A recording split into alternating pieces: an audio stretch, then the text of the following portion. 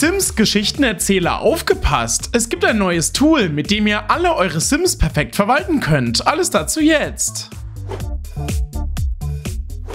Es gibt bestimmt einige von euch, die schon seit mehreren Generationen mit euren Sims spielen und mittlerweile ellenlange Stammbäume zusammengesammelt haben. Dank dem Verwaltungstool vom Simmer The Plumbobber könnt ihr eure Sims jetzt einfach dokumentieren, verwalten, detaillierte Stammbäume anlegen und mit der Genetik herumexperimentieren. Nachdem ihr das Programm installiert habt, sieht es beim ersten Öffnen ungefähr so aus. Hier habt ihr die Möglichkeit, oben erstmal eine neue Liste anzulegen, beispielsweise für jeden Spielstand eine eigene. Als nächstes definiert ihr im Bereich Plum Designer eure bereits vorhandenen Sims mit all ihren familiären Beziehungen, äußerlichen Attributen und bestreben und könnt diese mit dem gleichnamigen Knopf auch speichern oder aktualisieren. Aber auch wenn ihr einfach einen neuen Sim erstellen wollt und so unkreativ für mögliche Eigenschaften seid oder auch einfach mal mit dem Zufall herumexperimentieren wollt, ist das mit dem grünen Knopf möglich. Das Besondere ist hier, dass die Eigenschaften basierend auf denen der Eltern beachtet und auf den jeweiligen Nachwuchs übertragen werden.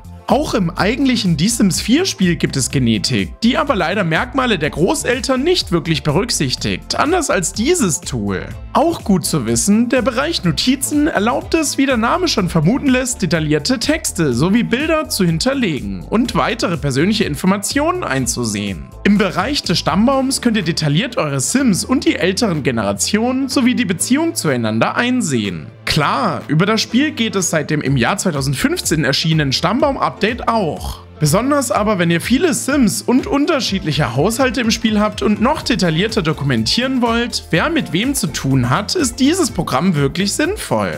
Der Tab von den Vorlieben und Abneigungen ist eigentlich selbsterklärend. Hier wählt ihr entweder per Hand oder Zufall die Option, die es auch im Spiel zur Auswahl gibt, aus. Deutlich spannender ist aber auf jeden Fall das Life of Plums. Hier könnt ihr euch kreativ austoben und für jede Altersstufe eine Art Ziel definieren. Vom Prinzip gebt ihr euren Sims hier eine Art Mini-Bestreben, die aber weitaus kreativer und mehr Storytelling fixiert sind als die Bestreben im Spiel. Wenn ihr eines davon mit der jeweiligen Altersstufe abgeschlossen habt, könnt ihr das Ziel auch auf abgeschlossen stellen. Oder wenn ihr einzelne nochmal würfeln wollt, die guten fixieren und alle anderen dann mit einem Klick auf Give Me Plums nochmal neu generieren. Ich liebe dieses Feature, gerade da es bei einem so kreativen Spiel wie den Sims immer mal wieder vorkommt, dass man manchmal nicht genau weiß, was ein neu eingezogener Sim so für Ziele und Missionen haben soll. Gerade hier bringt einen dieses Tool einfach auf neue Ideen.